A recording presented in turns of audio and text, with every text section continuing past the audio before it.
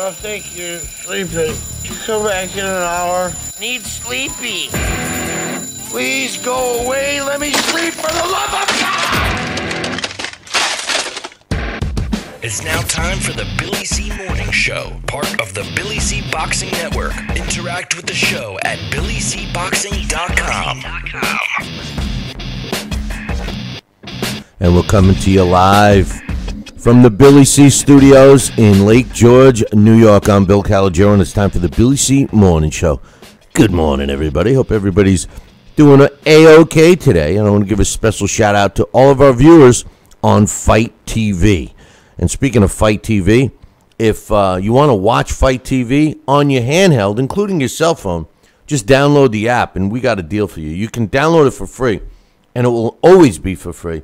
And you can get pay per views on there, just like the uh, fight from this past weekend, Andre against Jack Culcay, uh, all this stuff. Great stuff. Just go to uh, fight.tv. That's F I T E dot TV slash Billy C.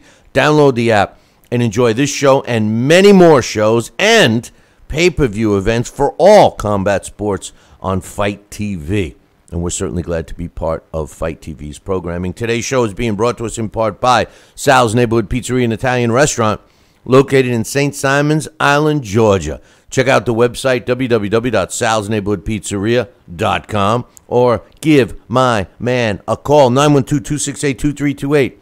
That's 912 268 2328. And don't forget, if you're heading south or if you're heading north, uh, you can go and enjoy some great Italian cuisine at Sal's uh, with a 15 minute detour off of I 95. That's it, 15 minutes. That includes stopping for a couple of lights.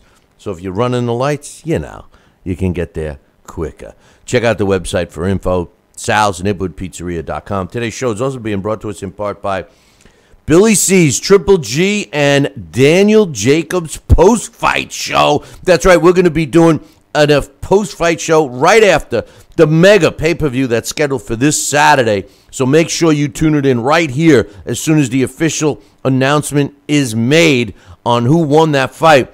Tune it in right here. You'll get my thoughts. You'll get all of the cronies here from Billy C Boxing's thoughts. And of course, we open up the phone lines and get your thoughts. Triple G, Danny Jacobs, post fight show right here Saturday night. Today's show is also being brought to us by my book. Tom Molino from Bondage to Better Surrender Plenty is available right now where all great books are sold. You can get a copy of it literally right now uh, by visiting barnesandnoble.com or amazon.com. Find out why we got a five star rating across the board. You'll love this book. Trust me. Trust me. What? You want a signed copy? Don't worry about it. Visit our website, www.billycboxing.com, and click on the book club section. Well, uh, one other thing I want to mention real quick. Um, you know, we're going to be doing some updates to this show that you guys are going to love. Not only with the content of the show, but the way the show is being broadcast. Stay tuned for that. It may be as soon as this weekend's post fight show. So hang in. It's going to be uh, taking place definitely uh, within next week or so or less. You're going to love it. We've been promising it. It's here. So uh, hang, uh, stay t- tuned for that one. Um, listen, coming up uh, on the show, we are going to do a, our, a Monday morning uh, quarterback post fight show on the David Lemieux Curtis Stevens fight, which took place uh, this past weekend. I w- had the luxury of being ringside for that fight, and boy, was I glad I went. Uh, we're also going to give a little preview on the Triple G Daniel Jacobs fight. I got some emails to read. Uh, we got the uh, Culcay fight. We got some boxing news to talk about. All of that is coming up. I'm going to even open up the phone lines today because I want to get your thoughts on the Triple G. I'm sorry, on the uh, uh, David Lemieux Curtis Stevens fight, specifically the knockout. Uh, but Foist joining me now from uh, a place that's going to get much better weather, much better weather than we're going to get come tomorrow and the next day. Ladies and gentlemen, boys and girls, children of all ages, please welcome the New Jersey Boxing Hall of Famer, a Guinness Book of World Record holder, a pretty good restaurateur, my man, Sal Rocky Cencola. Good morning, Sal. Good morning, Bill. How are you today, my friend? I'm doing good. I'm jacked up. Jacked up. Let's I get right you, into it. We What, we, what, what did I say all last year? Rebooting. That's what I said. And look what's happening. We have some big fights coming to fruition. We've been exposed to some great, great con- uh, contests. And uh, let me tell you, I think the best is still yet to come. Well, we got a great one coming up this weekend. Uh, Triple G and J- Daniel Jacobs. Uh, we'll get a chance to talk about that later in the week, uh, and uh, we'll be talking about little things leading up to it. But first and foremost, this past weekend, uh, live from the Turning Stone on HBO After Dark, uh, the main event, David Lemieux against Curtis Stevens. I was ringside, Sal, and let me tell you, it was quite the experience to see such a devastating knockout. I, I was less than 10 feet away and a perfect view. It actually happened right in front of uh, where I was. Uh, but uh, in case y'all missed it, David Lemieux knocked out. This was no stoppage. This was no uh, accumulation. This was no uh, TKO. This was a knockout at 159 uh, of the third round over Curtis Stevens. Devastating left hook that put him out. oh my goodness! What? What? I literally I thought that uh, Curtis Stevens uh, was killed. I mean, that's the way it looked uh, live. Sal, I was sitting next to his brother uh, as well as uh, my man John Iceman Scully, and I, you know, just to just to start off the conversation before I get your thoughts, you know, the fight uh, it was only two and a half rounds, so the way I saw it was bombs away from the first round. But I, I got to be honest, you know, to me. It looked like Curtis Stevens was he, he seemed like he was in better shape. Uh, you know, uh, there was a little pudginess around David Lemieux. We all know that David Lemieux has a tendency to uh, start off, uh, you know, guns a blazing and then run out of gas. And it looked like the game plan for Curtis Stevens was to weather the storm. His defense looked tight, Sal. His arms were up. Uh, it looked uh, like things were going his way until the beginning of the third round. what we learned later was David Lemieux's corner said, "Hey, calm down pick your shots. And uh, what we saw was a devastating knockout. What did you see uh, leading up to it? And then, of course, the uh, critical knockout. Leading up to it, as I will share my thoughts on the same page as you, I saw David Lemieux come in. And you know when he fought Triple G, he looked a little leaner. He looked uh, he looked uh, like he was in good shape. Uh, but I saw a wider girth, if you will, around his belly and midsection and uh, I think the commentators were even making note of that. But it didn't change or, or hurt anything about what he was going to do. As you said, guns were blazing. This was no safety first fight by any means. These guys both wanted to uh, to knock out the other person. And Curtis Stevens, I saw Dave Lemieux try to outbox him, had some movement behind his feet and his and his hands. Uh, it was good opening round. I gave it to Lemieux. Second round, Stevens came on, but I still gave that to Lemieux edging out because he was a little sharper, a little more defined with his punches. But let me tell you something. That third round, Curtis Stevens had no idea what the hell hit him.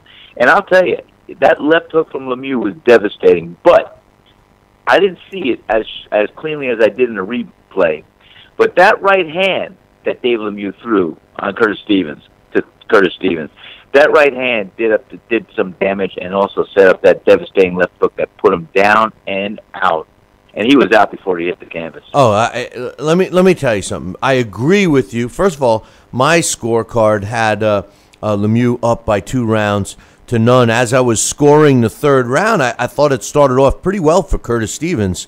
It um, did. And, and uh, you know, as far as the one-two that that put out uh, Curtis Stevens, what happened was he threw the right and then at the same time, Curtis Stevens, who was waiting to counterpunch, because there, listen, not only do I agree with you about David Lemieux coming in looking a little pudgy, he, clearly looked pudgy. I mean, uh, I, you know, his whole body did, uh, especially live.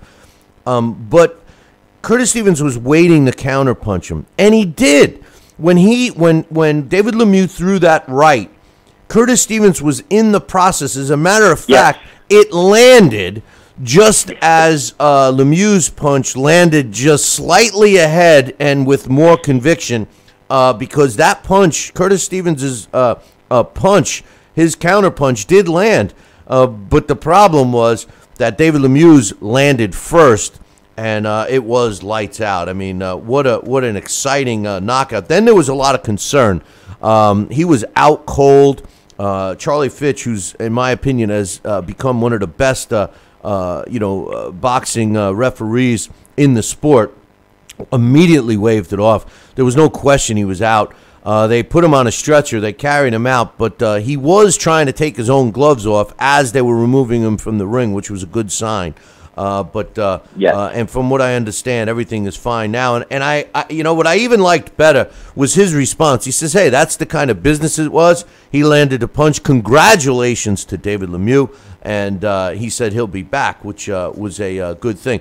You know, we're going to talk a little more about this fight, Sal. Uh, we're going to get. Uh, uh, Dax on the line. Then we're going to open up the phone lines. But let me just get everybody caught up uh, with the rest of that card because I got to be honest with you, it was a fantastic card from start to finish, and it was a uh, almost a capacity crowd there. They opened up the. Uh, uh, Turning Stone is not a bad seat in the house, and they have a pretty uh, sizable arena. And depending upon how many people show up, they open up this other section, which is the top section. Well, the whole place was packed, and a lot of the un- undercard fights had a big following too. So let me just get you guys uh, caught up on that. Gamboa, Yuriorkis Gamboa, uh, returned to the ring after over a year layoff due to management problems, etc., etc., and he won a. Uh, uh, a unanimous decision over Rene Alvarado uh, in their lightweight fight. Um, this fight, uh, I, listen, I'm a big fan of Gamboa. Gamboa showed some signs of excitement, Sal, but he's seemingly not the same fighter. I don't know if he's trying to to be more, um, I don't know uh, what the word is, controlled or whatever. Uh, but man, uh, were, the fans were actually booing him at times. Uh, he did suffer a flash knockdown at the hands of uh, Alvarado in the very last round.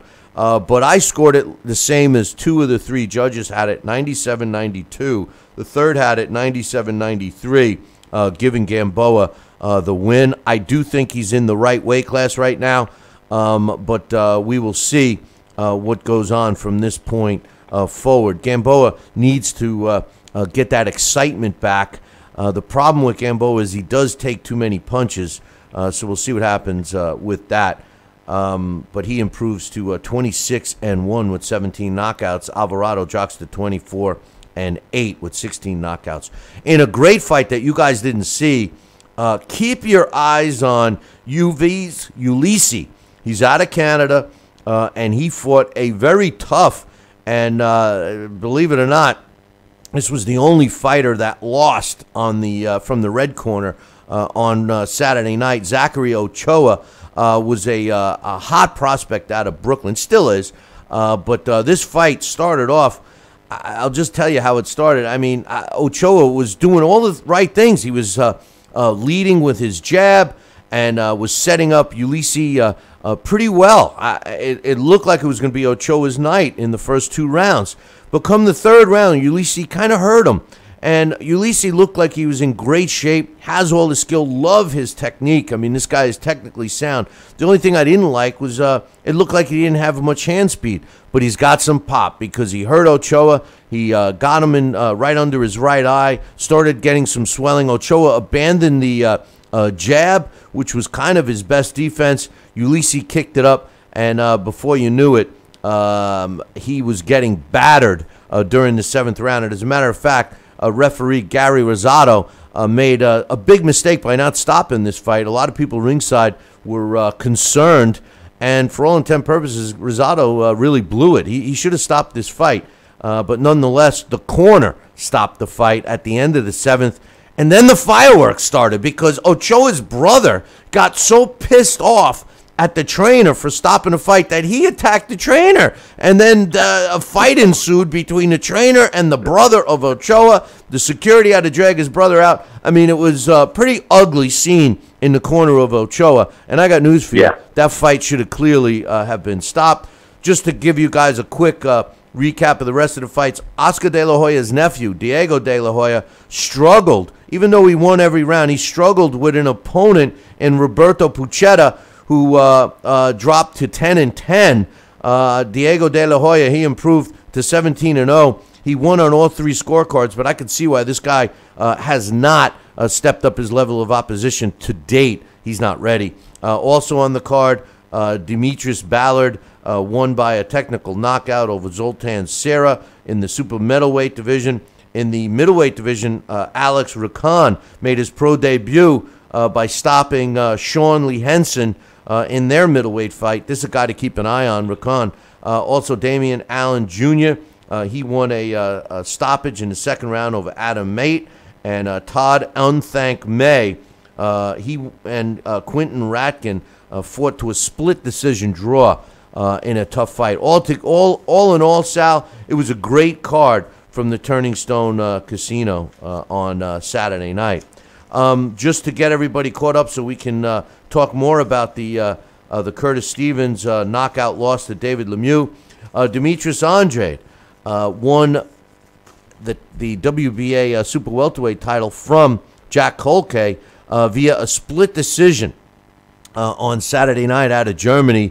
Uh, Demetrius improved to 24 0 with 16 knockouts. Jack Culcay loses for the second time in his career. He drops to 22 and 2. I got to see highlights of this fight. Looked like a not too exciting event.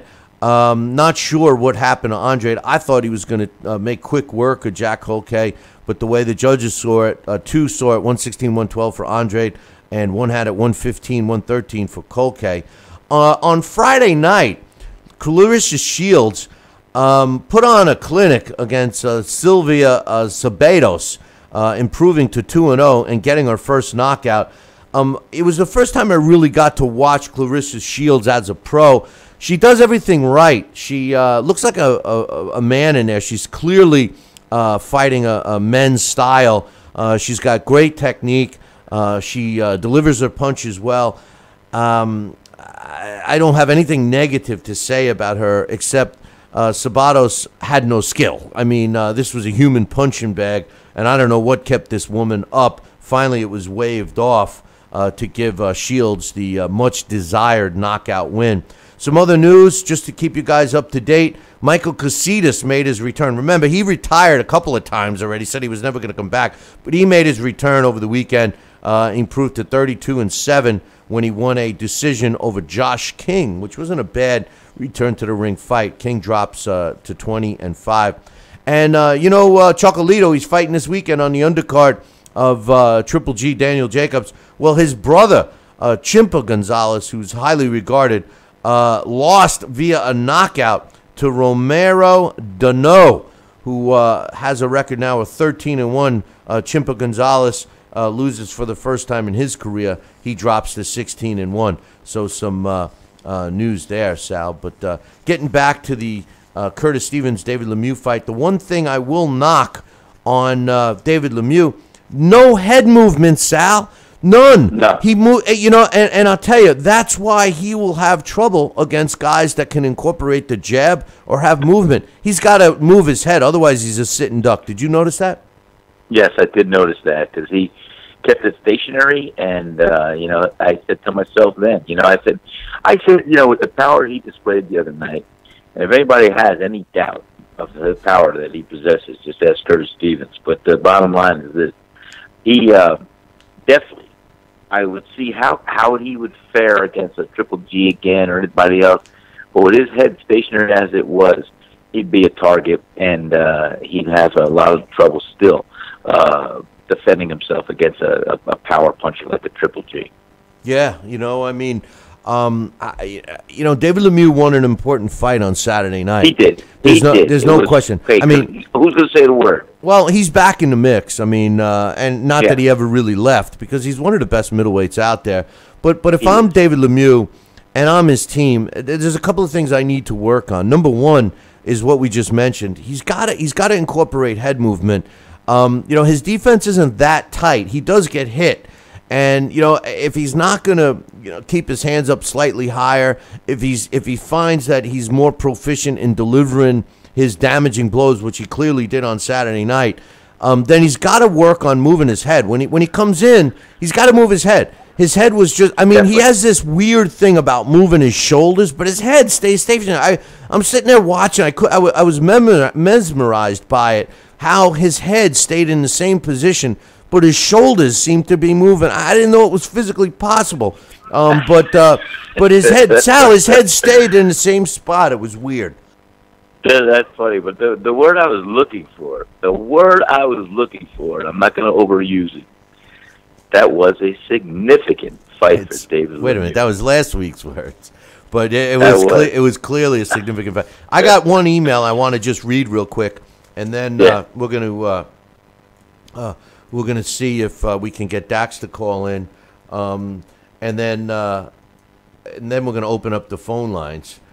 Um, eh, That's great. I want to I, want to get people's thoughts. I mean, we weren't able to do uh, the post fight show, but uh, uh, anyway, my my emailer is uh, from my man Joel, and eh, basically he says uh, Friday uh, Friday night I ordered uh, the Jack Culcay versus Demetrius Andrade fight for twenty bucks on Fight TV. And by the way, that was a steal. It was 1999. They started uh, the broadcast uh, on Saturday morning. They covered the entire show from the first fight all the way until the main event for 20 bucks. That's your one-stop shop uh, for pay-per-views uh, for discounted prices.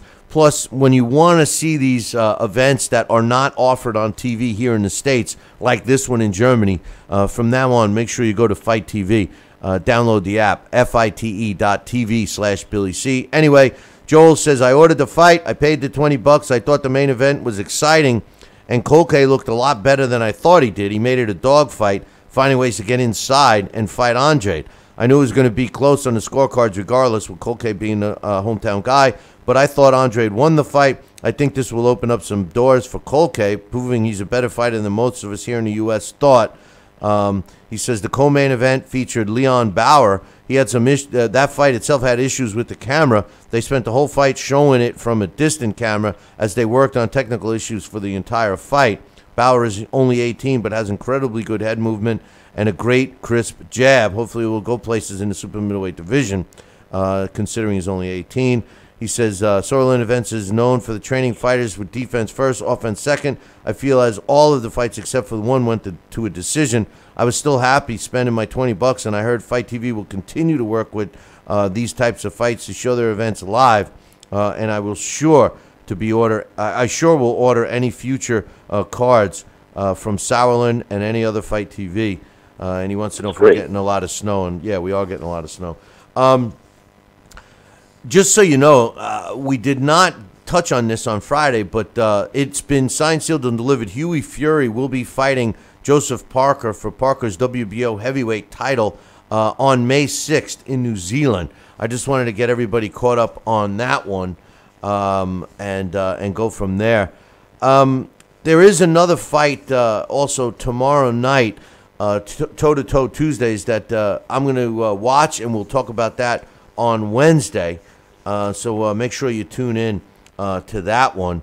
It's going to be a pretty decent fight when unbeaten light heavyweight prospect Ahmed Elbiali takes on Jun- uh, Jackson Jr. from Brazil. So that'll be a good one. Also, uh, we have uh, Jamontay Clark taking on uh, Goku Takayasha. Uh, so a couple of good fights, including Justin Paulito against Desmond Jarman, uh, will be the three fights that are uh, televised. So uh, keep your eyes uh, posted uh, for that one. But back to the uh, discussion at hand, Sal. David Lemieux against Curtis Stevens. You know, as we look at the middleweight division now, um, he was talking about you know who he wants to fight next and so on and so forth.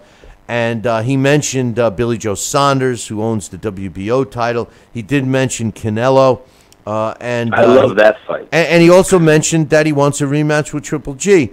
Uh, you know, I, I think for value purposes, I wouldn't be surprised if I saw David Lemieux go after uh, Billy Joe Saunders next.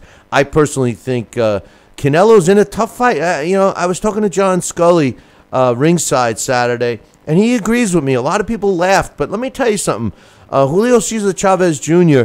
and something that you and I always talk about with Canelo, you know, his big weakness is he can't really punch on the move, and he and he's kind of got to stand in front of his opponent before he lets his hands go. And if he does that with Chavez, Sal, Chavez, that's the only way Chavez can beat him, and I, I think he's in for a tough fight. But uh, nonetheless, nonetheless, I think Lemieux gives Canelo some problems with his power. Uh, what's your thoughts on uh, all those things? I think what you just said. You know, when when we saw Canelo and we did that show uh, when Canelo fought uh, Mayweather. Of course, he didn't have to worry about getting hit, and there was no power there that was going to really hurt him. And he did get hit. Uh, Wait, Rod, I, if I recall, if I recall, I don't mean to cut you off, but if I recall, that fight did display. I mean, I thought Floyd did hurt him in that fight. I remember, did. You know, Floyd counterpunched and, and stunned him. times. He stunned him, and he Yeah. got- he got him off track. Yeah. Anyway, go ahead. No, no, you're right. You're right. And I, I said to myself, wait, Floyd, Floyd doesn't have this power that he possesses. I would, I would have said, him out, but I. I would have said, check his gloves right now. Check his gloves; they're loaded. But, the, but you know what? I think David Lemieux and fighting a Canelo Alvarez would be a great draw. Would be a great fight for the middleweight division. But I'm telling you right now, I see Lemieux knocking out Canelo Alvarez. I tell you what, I, I, see. I, I will tell you that. I see Canelo Alvarez going, getting hit by a Lemieux shot, and then uh, not knowing where the hell he is. if David Lemieux can move his head and tighten up his defense a little bit and, and be in better condition because he, he wasn't he didn't have to show us that he was in he, he looked like he wasn't in great condition he swore he was in top shape um, He did. but He uh, did. but but he looked like he was not and we we'll never know because you know that, uh, he seems to run out of gas after the sixth round and definitely after the eighth uh, so that's gonna, you know, be telling. If Lemieux can tighten up his defense, move his head a little bit, get a little more disciplined in terms of uh, uh, conditioning, there's not many middleweights out there that are going to beat him, uh, with the exception of Triple G, and that's at this point. You know, Triple G's no spring chicken. David Lemieux is still No. pretty young. You know, so He's uh, 28. I know. 28 years old. This guy's been to the mountain and back, and uh, he's only a 28 year old young man. I know, I know. Well, we're going to open up the phone lines. I, I had hoped that Dax would call in a little early, but he's uh, uh, probably uh, doing something. He'll call in in about uh, 15 minutes. But let's open up the phone lines. What's your thoughts on uh, Triple G? I'm sorry, David Lemieux's win over Curtis Stevens, and any early thoughts on Triple G, uh, Daniel Jacobs? Phone line is open 845 228 8710. 845 228 8710. What'd you think of Gamboa on the undercard? Did you get a chance to watch that one? No, I, I actually we did not. We've been mobbed with the. Uh, we had the spring breakers down, and Billy, I had to sneak out and literally go up through a back door exit to get home to watch the uh, Lemieux fight. Well, let me tell But you, no. the, the, uh, Gamboa's last fight was in uh, December of 2015.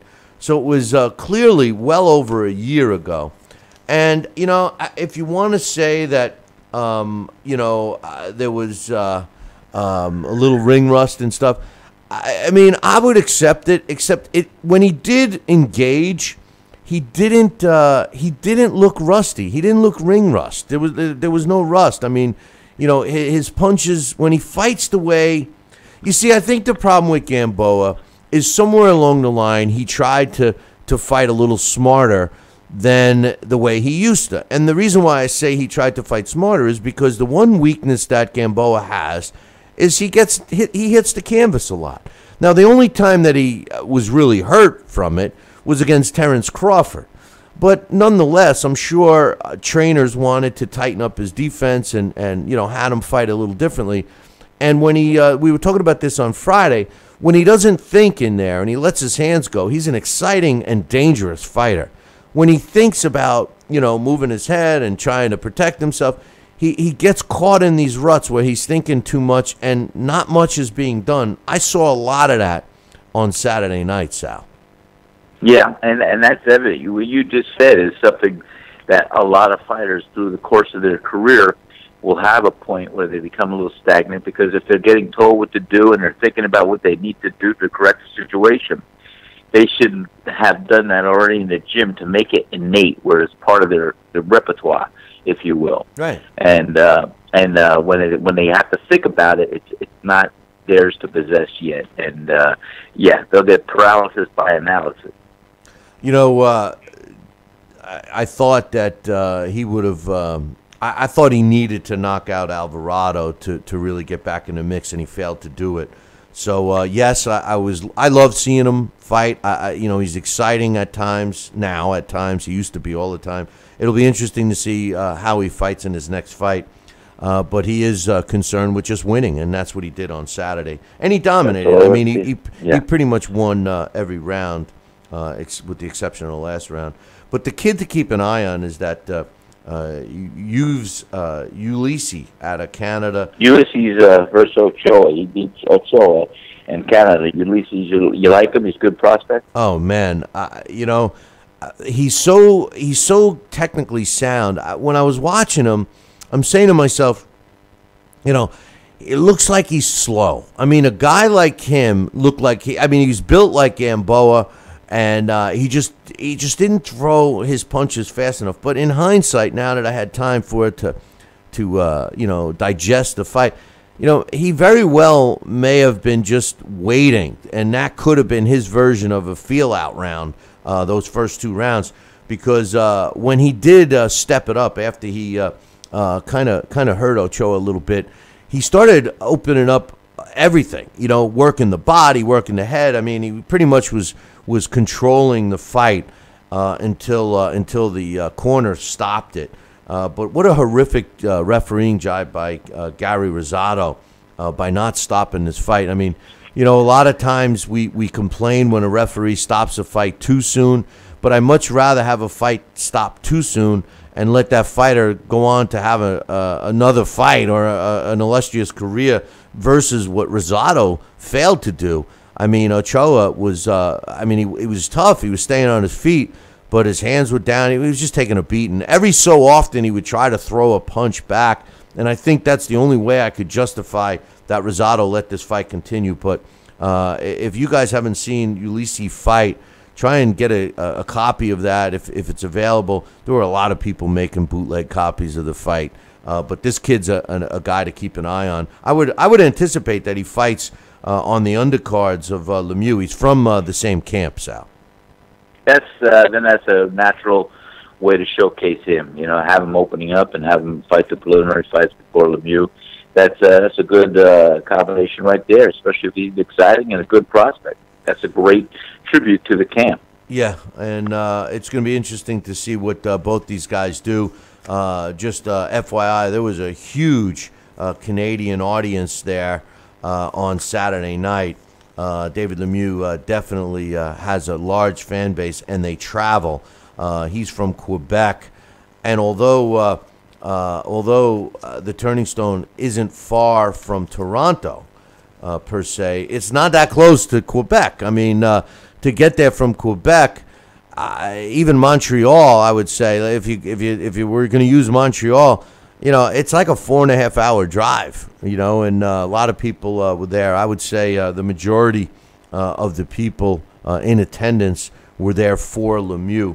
Now, don't get me wrong, Curtis Stevens, who made a similar uh, trip from Brooklyn, uh, had a contingency there as well. But Lemieux definitely had uh, more uh, fans there. But uh, big fight this weekend, Sal. Fight that we've been Yes, waiting sir. for for a long time. Triple G Wow. against Daniel Jacobs. I can't wait for this fight. Now I will uh, break down. We, we will both break down this fight in detail uh, Friday night. We are doing a post-fight show, but I'm excited about this fight, Sal. And uh, you know, when I glanced over uh, some of the uh, uh, statistics of this fight and, and going through what a lot of people say, Triple G never fought, this guy never fought. Well, uh, my records show that since 2010, every opponent he's fought has been ranked by one of the major, or if not more than one of the major sanctioning bodies. The lowest guy was ranked in the top 12. You know, so really you can't fault a guy for fighting, uh, you know, fighters that aren't as skilled as himself, but he is fighting everyone available, don't you think? Well, yeah, that's the trouble. You know, we, uh, you know, the guy's not ducking anybody. He's willing to fight anybody, and uh, it, it- it just so happens that the weight class isn't, isn't filled with world beaters that other people would like to see him get in the ring with. And uh, like I said, he's not turning away any of the fight. It's just who deserves a shot at Triple G. Uh, you know, has to step up to the plate. Number one, number two has to be sanctioned, and number three, uh, they've got to be willing to go through the dance, and that's that's the hard time. That's the hard hard uh, hard spot that we're we're trying to find out. Now Daniel Jacobs is stepping up to the plate in more ways than one, and he's calling out, and he's gonna, you know, like I said, when this fight was made, you and I were first talking about it. Daniel Jacobs might know something that we don't know about Triple G, and uh, he's going to show us maybe that uh, Saturday night. We don't know. We'll see. Well, the one thing uh, that Daniel Jacobs, uh, Daniel Jacobs has one of the worst uh, trainers in his corner in Andre Rozier. Um, as a matter of fact, I, I talked to uh, Team Stevens, and who's related to Rozier, and they said the best thing that Curtis ever did was get away from Andre Rozier, and for for various reasons. And you know, Daniel Jacobs, you know, they must have recognized that Rozier isn't that great, and they brought in an additional uh, trainer for this fight. However, they brought in Virgil Hunter, who, in my opinion, is the most overrated uh, trainer in, in the sport today. I don't know why, uh, you know, he uh, uh, even gets the accolades that he does. Uh, excuse me, but he is he's terrible. But I give, excuse me, I give Jacobs all the credit in the world, Sal, and I think that his only chance of beating Triple G is to jump on him early. What do you think? Yeah, I think that's going to be the big thing. You know, Triple G, you got to take him by surprise, and and not too many people have ever attempted or even tried to successfully do that. But I think Daniel Jacobs, he's got to be up there. He's got to be warmed up in that dressing room, ready to go, like it's the fourth round, and he's got to jump into that fight and uh, try and establish some. Uh, some kind of a aggressive, uh, controlled aggressive uh, uh, combinations and land some good shots to get the respect of Triple G right off the bat. I got a funny story for you uh, when uh, when you think I could share it. All right, because I, I, I, I got a funny one too uh, about my weekend, which you guys are going to love. But joining us right now uh, is Daxx Khan. Uh, good morning, Daxx.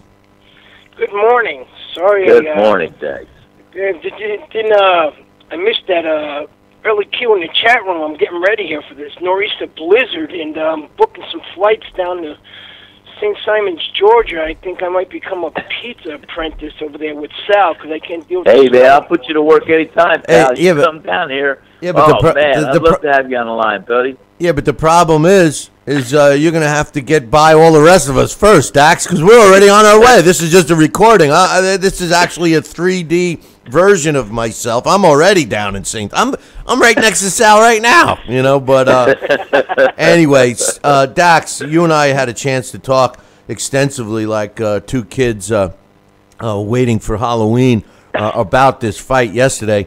Uh, but uh, what was your thoughts now that you had a couple of days to, to digest it? David Lemieux, Curtis Stevens. It was. My opinion hasn't changed since we spoke. Well, it, could you- it really hasn't. Can you Um, share it with the rest of the people?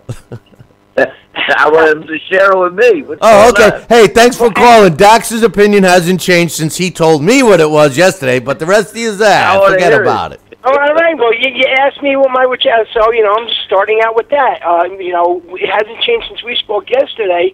You know, David Lemieux is a guy who continues to be underrated, and as I stated in um, my opinion up up on our uh, web web website about the fight, you know, David Lemieux is a guy that because he was dominated so so greatly by Triple G, they forget exactly how good David Lemieux is. Uh, you guys brought up a great point earlier. Uh, forget whether you or Sal said it about um, David Lemieux and his uh, only being 28 years old. You know, the last time he was stopped was against uh, Marco Antonio Rubio prior to the Triple G fight, and he was only 23 then. And that seems like you know in boxing that's a lifetime ago. Yeah, definitely a It- it- lifetime ago. if you watch the uh, N'Dam fight, which was two years ago when he won the title, he showed a different version of himself. He showed some poise. He learned how to more or less stretch out his stamina. Obviously, stamina is not his strong point, so he learned when to turn it on and, and to slow it down. And Saturday, that's exactly what I seen. I seen him more or less knowing when to turn it up, when to turn it down. If you watched on TV, you could actually, uh, you know, catch part of the conversation in the corner when his trainer tells him, you know, listen, you got to slow it down a little bit, and that's exactly what he did.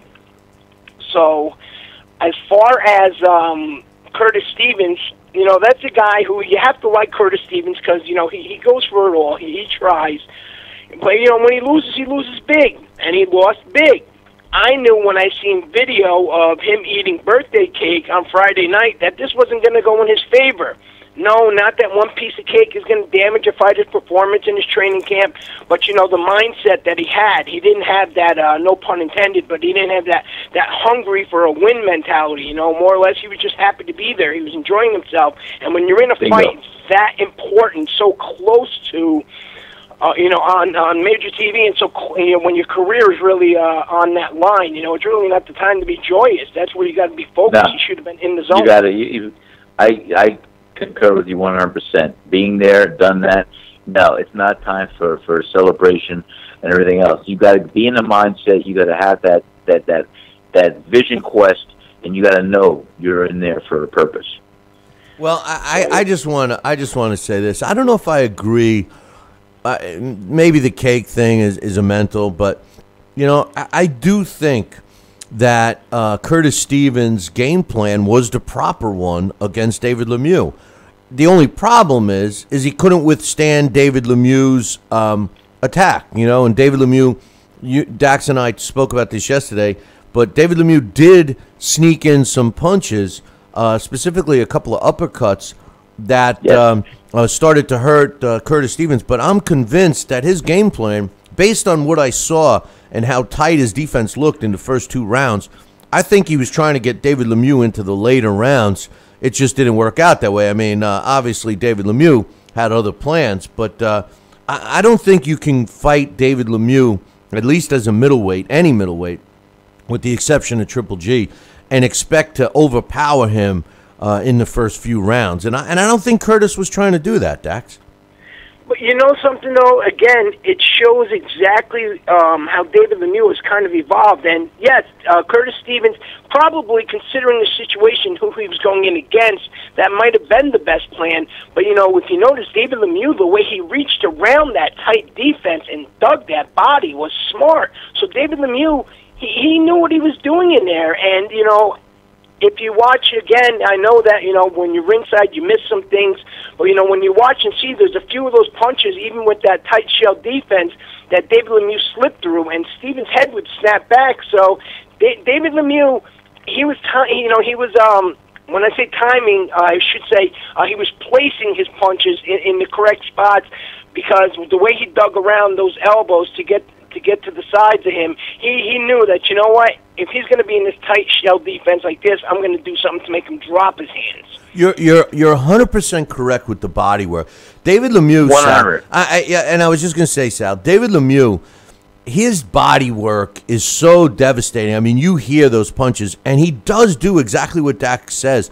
He gets around the defense, and he hits the body in those devastating spots, right on the side, right on the side of the body that decapitates uh, uh, or decapitate. Uh, it, it, it renders them Uh, the, the word I'm looking for. Incapacitate. Incapacitate. Yeah. Now, geez, I, I I ripped a page out of uh out of out of Slip Mahoney's book there, Sal. I was going to say Slip Mahoney. But uh, but the truth of the matter is, those body shots were uh, they. Uh, you heard them throughout the arena, among, even though the crowd was going crazy. And, and you know what's uh, here? Here's here's what's uh, very very evident when you're in the ring. There, those body shots initially they might not even hurt you, but they get your attention that you're going to be aware of them because they're capable of, of eventually hurting you, getting through. But like hypothetically, if you're getting hit in the body with that, ah, you know, you tighten up. It's not going to knock you down. It's not going to blow the wind out of you. It's not going to hurt you right there.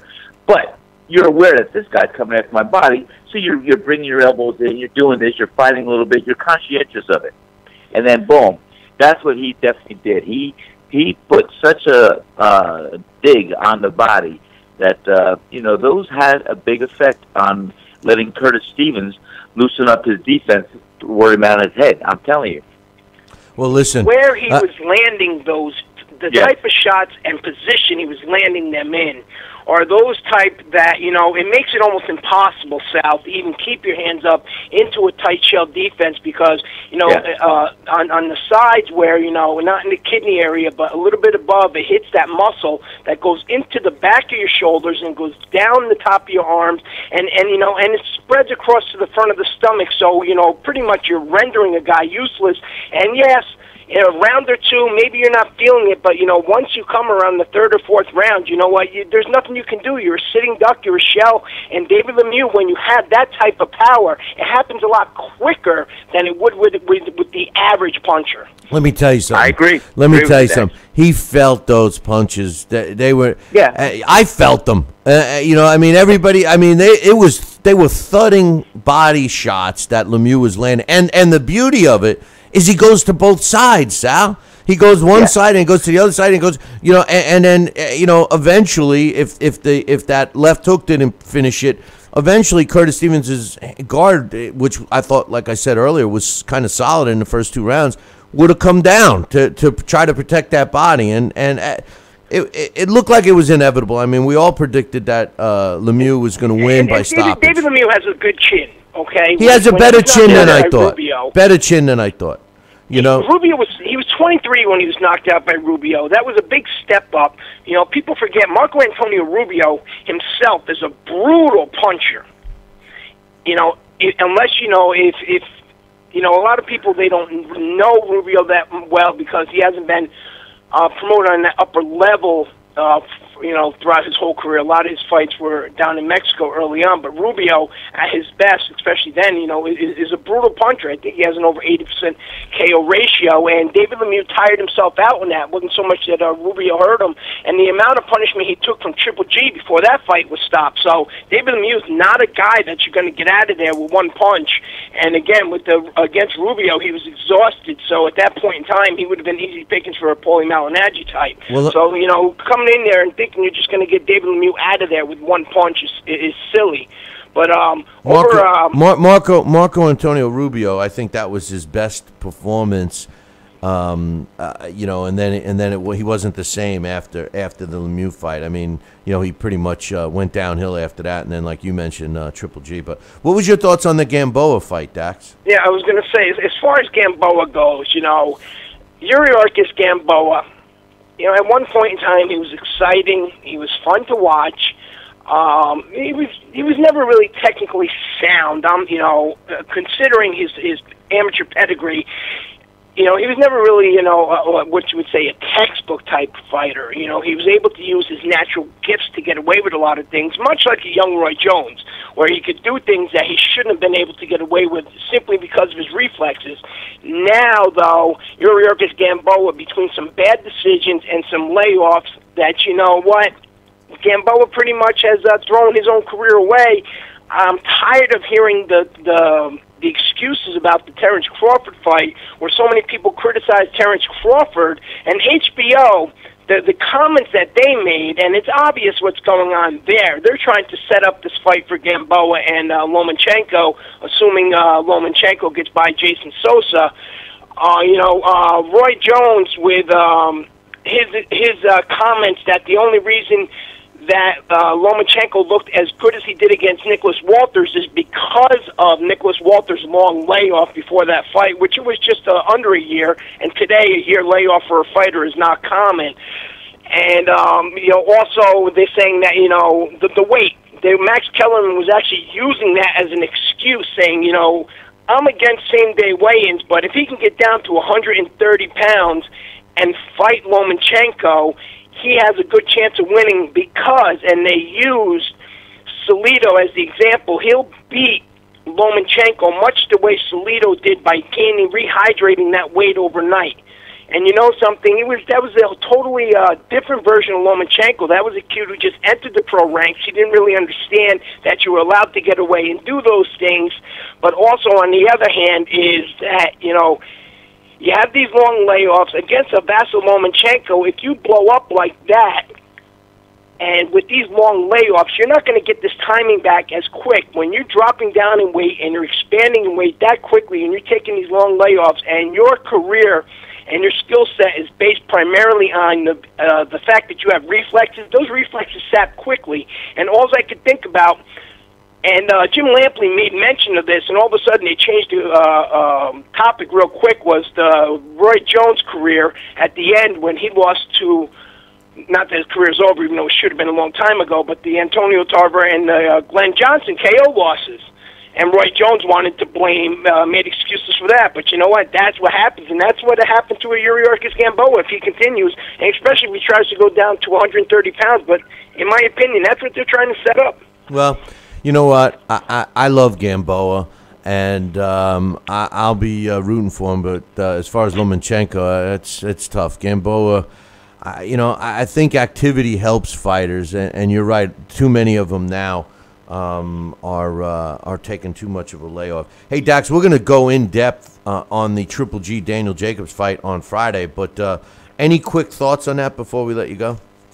Um, quick thoughts on that. You know, Friday, I'd love to talk about that. You know, there's some very interesting stats with the two of them, and uh, so something that really is going to be a key in that fight is when you look at, um, let's see, 2009, 2010 seven, eight, you know, a combination of 15 years, a combination of about 30 fights. Neither one of those guys has been able to go the distance in a fight. So, uh, you know, I, I predict a short night, but we'll get deeper into that. Uh, before we go, we just got to give one quick mention. You know, this weekend they actually used those scanners that they've been talking about for the first time in post fights.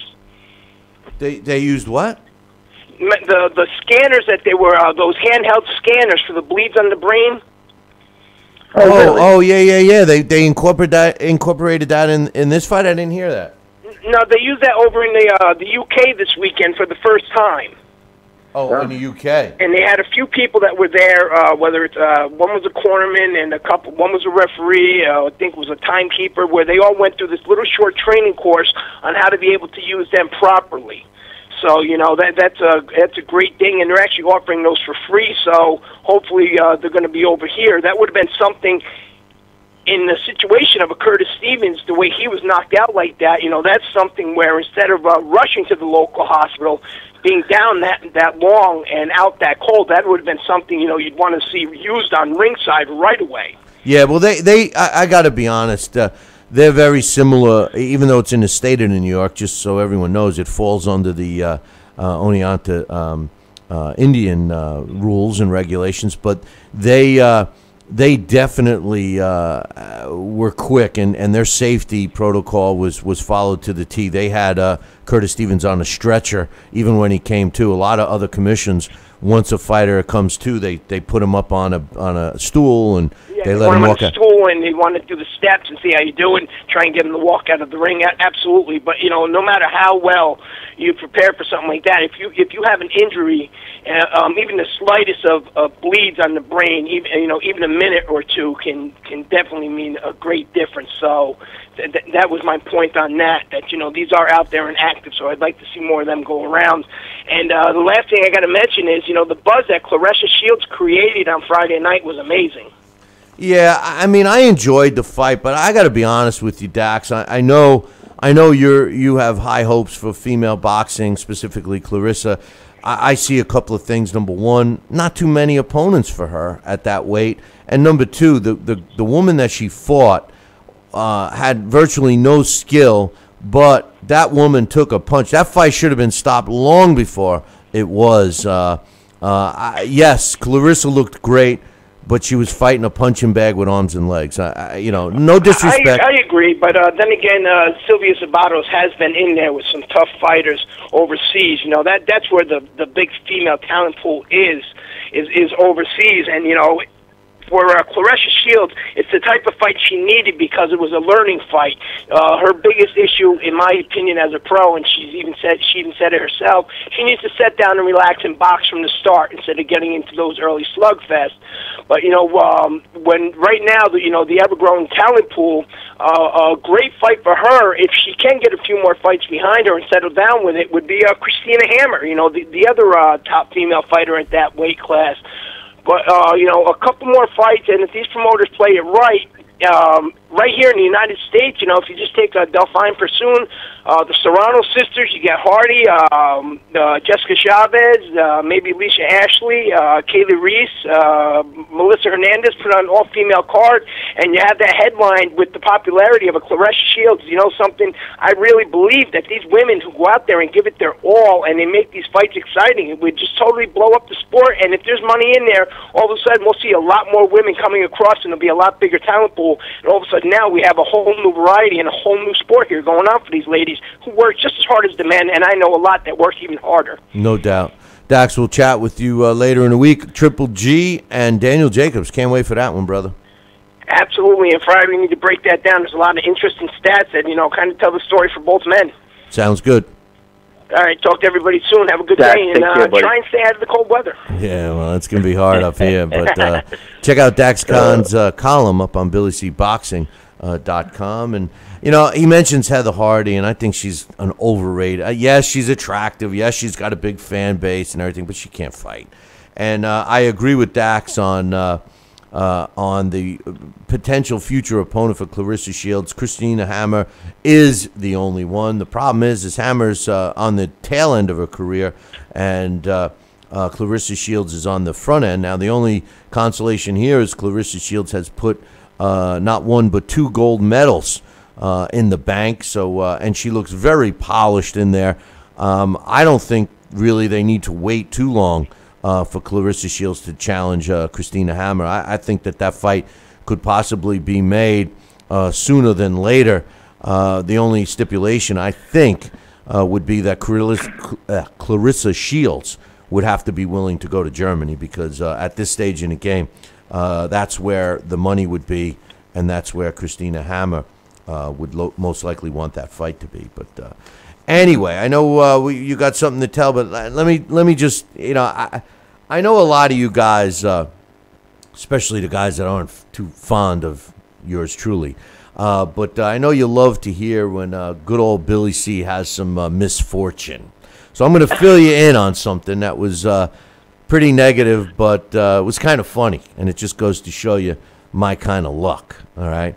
So on Saturday night, after a great night of uh, fights at the Turning Stone, and and uh, give a shout out to uh, a new uh, uh, listener uh, interacting with us in the chat room. I know that there's a lot of chat rooms for the different. Avenues you can watch this show on or listen to it, but the one we respond to is the one up on BillyCBoxing.com. But shout out to Big Mike. He, he has a an email that he sent that we didn't get in time, which we'll read on Wednesday.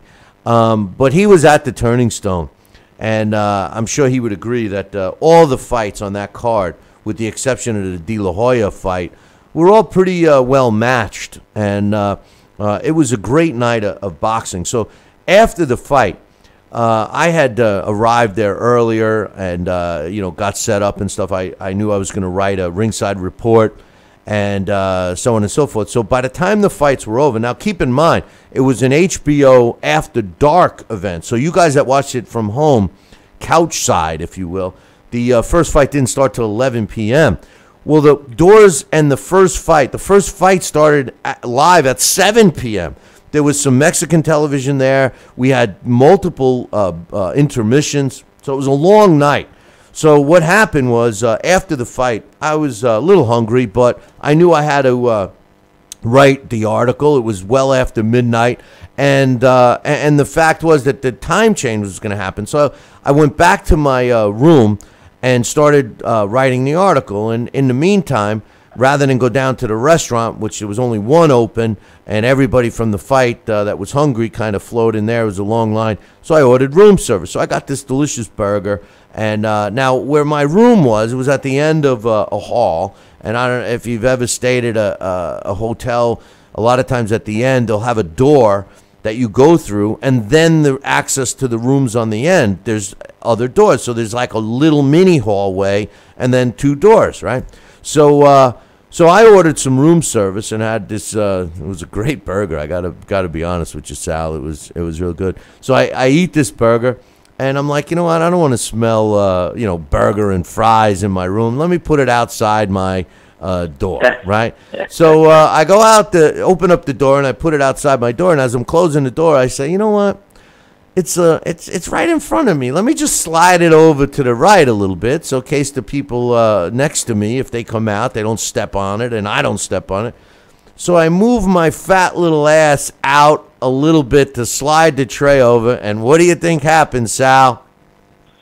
Um, I bet that door got away from you. The door, Closed. the door slammed shut behind me, man. I'm standing there in sweatpants and socks and a t-shirt, and I'm like, oh no, you know. Uh, uh, and here I am, locked out of my room. Okay, dreading have to go down to the main lobby because all the fight fans are hanging out there, you know, uh, BS and and and I'm looking like uh, Lucille Ball, not anybody knows, but you know, PJ. with rollers in my hair practically, you know, and, and and I'm sitting there and I'm like, oh no, man, you know, I, I can't believe this just happened, you know, never happened to me before. I never walk out of a hotel room without the key in my hand. But like I said, I was just sliding the tray over. I didn't think the door was going to slam shut, so I had to go to a, a, a phone near the elevator, which brings you to an outside line for some reason. then I had to call the the hotel. They bring me to the front desk, and the first words she asked me, I go, I just locked myself out of my room. What do you think she says to me? She goes, uh, where, wh- wh- wh- why don't you have a key on you? Or No, she goes you? like this. Where- She where- says, where- "No." She says, "No problem. Come on down to the front desk, and as long as you have ID on you, we'll give you a new set of keys." Well, I go, I that can't. I go, I, I go, I don't have my ID. It's locked in my room. I said, and I don't really want to come walking down to the front desk in my sweatpants and a t-shirt. You know, I, I, I almost had feety pajamas on for God's sakes. You know, so she says, uh, no problem. We'll we have to make another set of keys, and we'll be up. So I stood in that hallway for 20 minutes uh, waiting, and they finally let me in. And I'm saying to myself, "Oh my God!" You know. Now the ironic thing is, when I checked out the next morning, Yeah. I couldn't slam the door shut. I mean, I had to I had to put all my stuff down to close the door. It wouldn't even close. You know what I'm saying to myself? You know, how does the door close automatically and lock me out so easily? And then when I go to close it to leave. I had to put everything down and really pull it. I, just typical Billy C. luck. So, uh, You know uh, anybody That that's is, enjoying uh, that, I, I don't know. Did you gamble at all?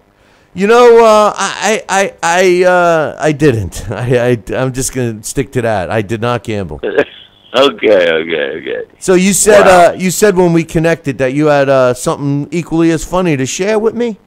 Well, well, it's not quite as funny, and that's a heck of a story, Billy C. I'll tell you, I, I, I know when things go bad, they go bad, and there's no getting off on that track, and it just goes to the bottom, and you come back up just like an elevator. Mine's not a, not mine's not as funny, but it was a poignant, very neat story, and I'm going to tell you right now. We had, you know, we're lucky enough. We we get we get customers coming in from all over the world, literally. And there was this very lovely couple.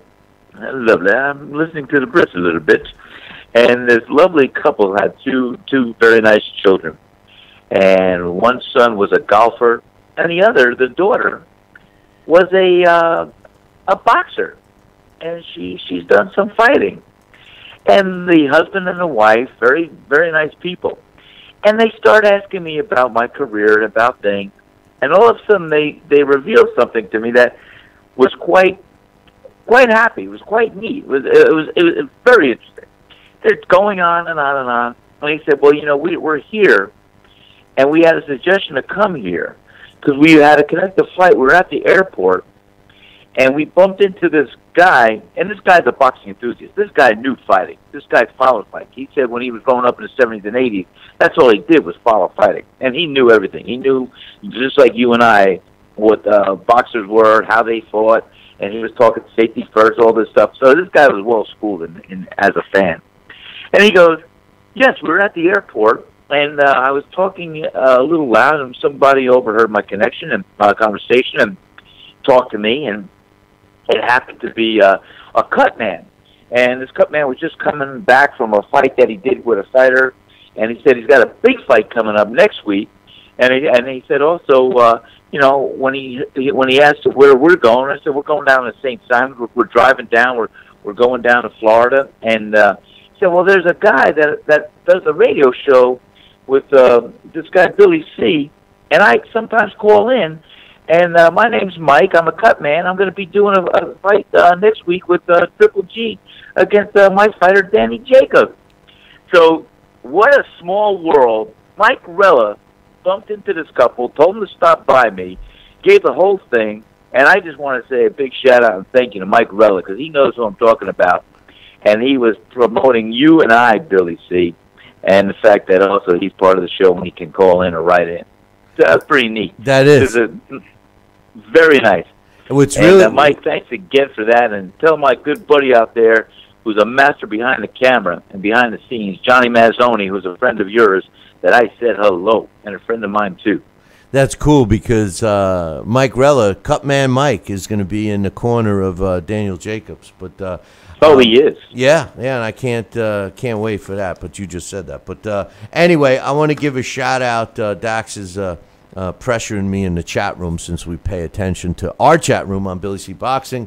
Uh, but uh, fit and ready for give, uh, uh, fit and ready for.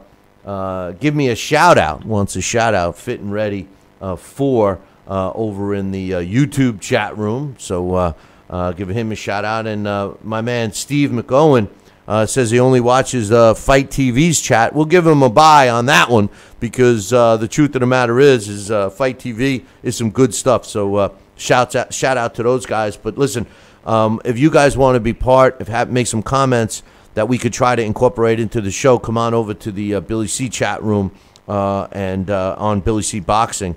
Uh, and then don't forget, if you take the time to send us an email, Billy at Talkin Boxing, T A L K I N B O X I N G dot com, we'll take the time to read it on air. But listen, try to get them to me the night before because after 7 a.m. Eastern Time, uh, any emails that we receive won't be read until the following show. So, hey, on this day, March 13th in 2004, Winky Wright wins a 12 round decision over Sugar Shane Mosley to win the world. Uh, um, well, he won the world, the WBC, and WBA, uh, and retained his IBF World Junior Middleweight titles.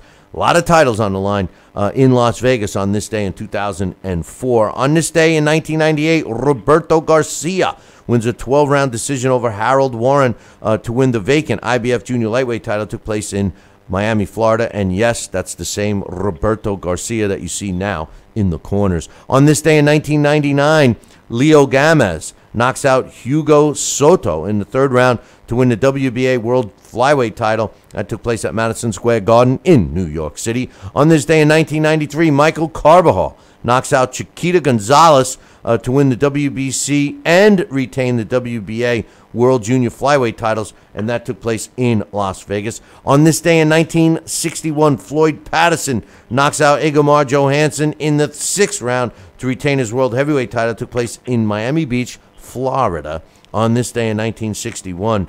And on this day, uh, March 13th, in 1952, Sugar Ray Robinson wins a 15 round decision over Bobo Olson to retain his world middleweight title, and that took place on this day in 1952 from San Francisco, California. One thing I want to mention real quick don't forget, Sal and I are going to be doing a week long extravaganza in St. Simon's Island uh, in the middle of August, uh, most likely the week of August 14th.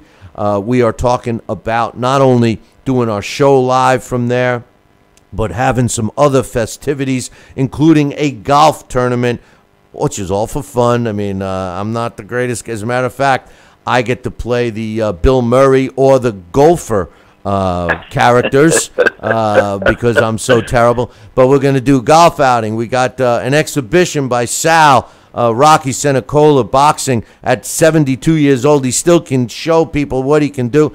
And we're currently working on Yeah. some other things. We are definitely going to have some type of a live boxing event, whether it be professional or amateur, uh, at the facility, uh, the uh, Sea Palms Resort. So uh, make sure you uh, drop me an email if you have some interest so we get you the info out first as soon as it's signed, sealed, and delivered. Uh, so drop me an email, billy at Talkin Boxing, T A L K I N B O X I N G dot com. Sal, any final thoughts, my man? No, I'll tell you what. I'm very excited about August, and we will have a great, great uh, extravaganza, as you say. And uh, I think you're right on. And we'll have a lot of fun. You and I are going to talk about behind the scenes, and we will roll it out as soon as we get the the uh, go ahead. Yep, we got uh, a uh, verbal go ahead, but the program uh, that we're going to be doing for the whole week, the whole schedule of events, is not etched in stone yet. So, but I advise you guys to to get on the list, uh, the uh, Yeah. early list first. So drop me an email, yeah, Billy I'm, I'm seeing a meet and Boxing. greet, Bill. I'm seeing I'm seeing some celebrities coming down and joining us. I'm seeing maybe some uh, boxing memorabilia being for sale and things like that. And uh, so I'm seeing a lot of things. In fact, I'm putting on my uh, Nostradamus hat. I'm going to see some more.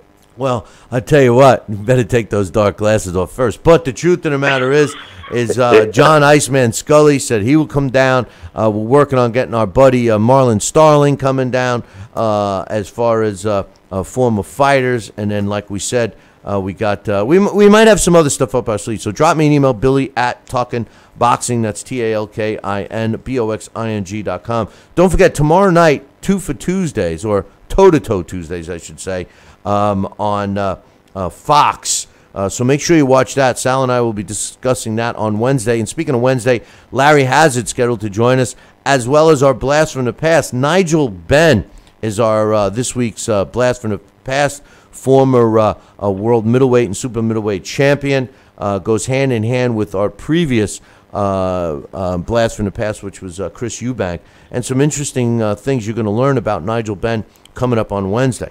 So uh, if you have a request for our blast from the past, just drop us an email. Hey, listen, uh, I'm going to leave you guys with this. Make sure you tune in Wednesday morning, same bat time, same bat channel. Until then, ciao, baby.